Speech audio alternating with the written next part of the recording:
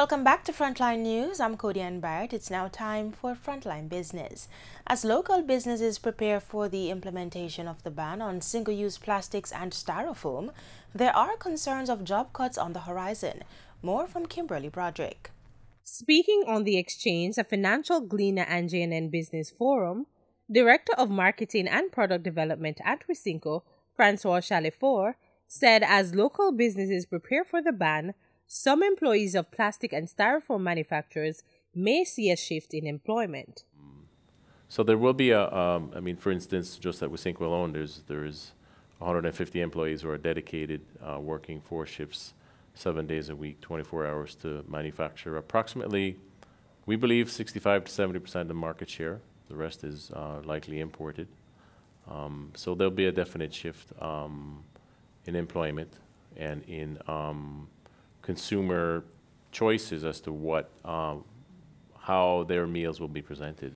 Similarly, Director of Packaging at FlexPack, Alan Ross, says the ban will affect about 30% of the work being done by his company. We have about 30, between 30 and 40% of our work is actually plastic bags. Mm -hmm. The remainder is uh, laminated packaging really for the food industry. And then we do also bunting.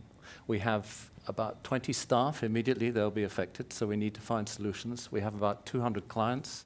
And a special projects manager at Grace Kennedy, Simon Roberts, says the ban will significantly affect the company's lucrative retail business. It, it has a direct impact on our retail business, Hi-Lo, um, and it will also have impact in, in, in the ability of our consumers to easily access the products unless and as when um, alternative packaging formats, such as paper boxes and other biodegradable type packaging, um, are become available in the country. Starting January 1, 2019, the government will impose a ban on the importation, manufacturing, distribution, and use of specific categories of plastic packaging materials. These include single use plastic carrier shopping bags, styrofoam, and plastic drinking straws.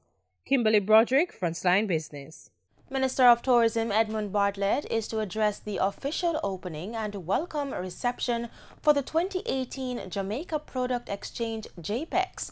JPEX 2018 runs from September 23 to 25, 2018 at the Montego Bay Convention Center. It is the premier trade event for the travel industry locally and is a collaborative initiative between the Jamaica Hotel and Tourism Association JHTA and the Jamaica Tourism Board JTB.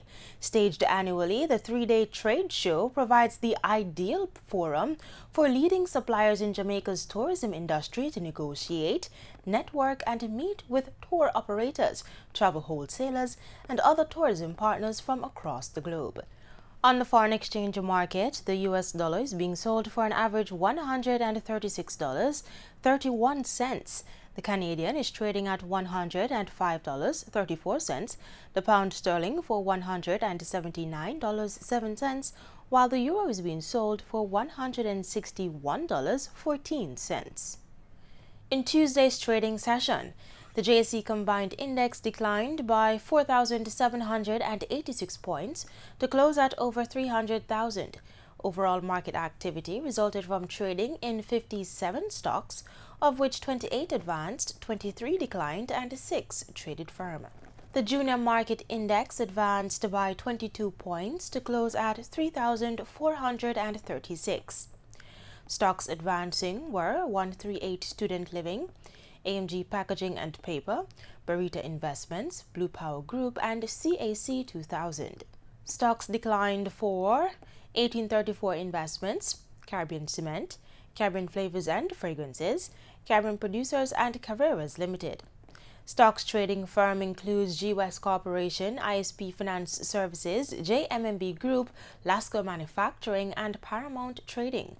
Dermont Trading Company was the volume leader with over 1 million units, followed by NCB Financial Group with 967,108 units, and Lasco Financial Services with 625,607 units. And news in oil. Oil prices eased on Thursday, slowing an upward surge that had pushed the market towards four year highs after U.S. President Donald Trump called on OPEC to, quote, get prices down now, end quote. Brent crude oil was down 50 cents at $78.90 a barrel.